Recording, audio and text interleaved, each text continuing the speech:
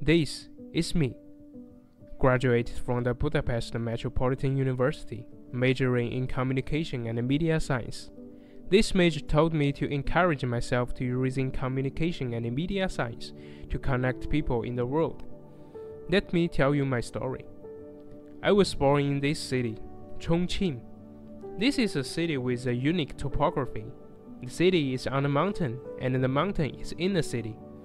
It was rebuilt after World War II. The 14,000 bridges are the wisdom of Chongqing people to connect others. I have the best parents, no sibling but never feel alone. My parents inspire me to keep the enthusiasm and thirst for knowledge forever. This made me understand that life is not a fleeting short distance race, but a long journey that requires pour a lot of patience. Sometimes enjoying the scenery on the road is more valuable than reach the end in one breath. I am an explorer, brave to try any challenge and meet different opportunities. I'm willing to step out of my comfort zone to understand the wider world. I'm curious about the unknown and knowledge, regard every day as an opportunity to learn and create. I have met friends from all over the world. I always try to keep a connection with them because they are the treasures for me. Our world is beautiful, and this is what motivates me to travel thousands of miles to study, to live, to travel, to meet friends, and communicate. The gears of the world are constantly turning.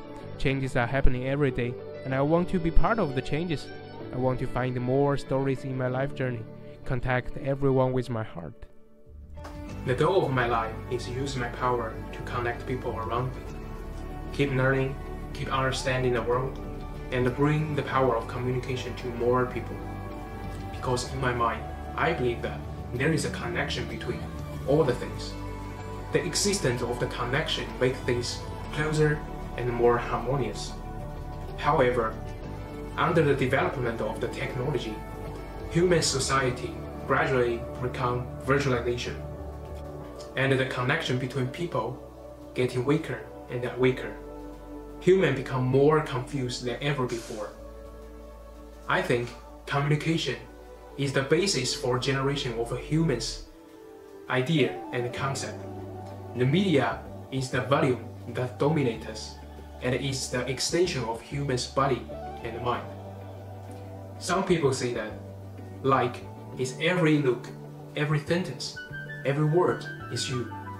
When you like someone, love will overflow from your eyes, even if you close your mouth. Every piece of information carries your love and uh, spreads your joy. The power of communication is incalculable, and its future is bright.